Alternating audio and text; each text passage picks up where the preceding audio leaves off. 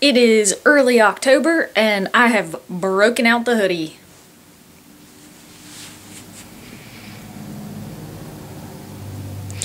And I tell you what, hoodies are so much easier to wear when your hair is short.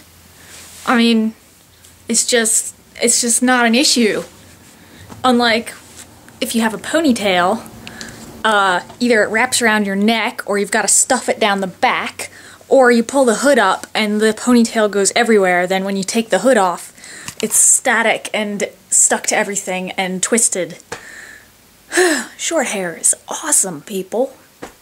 Just cut it all off. Just cut it off. Leave, you know, enough for a little decorative poof or whatever, but just just cut it off. Just cut most of it off. Get rid of it. It's unnecessary. You know, unless you really like that sort of thing. You know.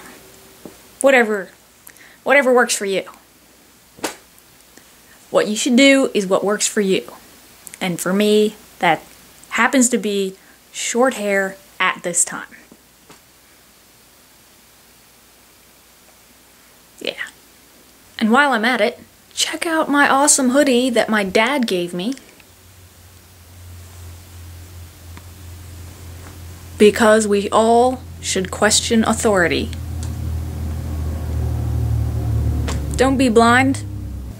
Don't follow blindly. Think about what you're doing and what you're agreeing to and what you're supporting with your votes. And don't forget to vote.